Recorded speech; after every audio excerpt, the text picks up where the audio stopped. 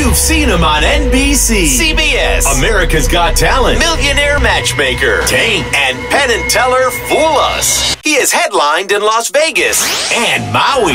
Now, now you can see him on Zoom, right in the comfort of your own living room. Introducing Seth Grabel.